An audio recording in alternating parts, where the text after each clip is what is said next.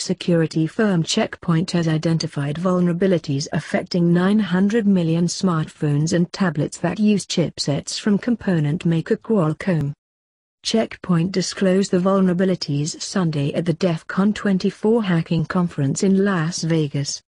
The four vulnerabilities, dubbed QuadRooter by Check Point, affect Android devices using chipsets from component maker Qualcomm. Chipsets are collections of components or circuits that handle data flow within a device.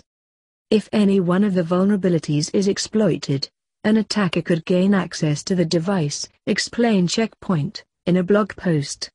Any Android device using these chipsets is at risk, it added. An attack could exploit the vulnerabilities in the chipset's software drivers using a malicious app, since the vulnerable drivers are pre-installed on devices at the point of manufacture, they can only be fixed by installing a patch from the distributor or carrier, Check Point said.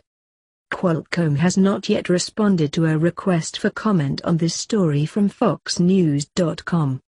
Check Point says the situation highlights the inherent security risks in Android. Critical security updates must pass through the entire supply chain before they can be made available to end users, it said. Once available, the end users must then be sure to install these updates to protect their devices and data. The BBC reports there is no evidence of the vulnerabilities being used in cyber attacks. Android devices containing the vulnerable chipset technology include the BlackBerry Priv, Google's Nexus 5X, Nexus 6 and Nexus 6P and Samsung's Galaxy S7 and S7 Edge, according to Check Point. BlackBerry, Google and Samsung have not yet responded to a request for comment on this story from FoxNews.com. Check Point is offering a free QuadRooter scanner app on Google Play that can test devices for the vulnerability. This is not the first time that Google's Android has been thrust into the security spotlight.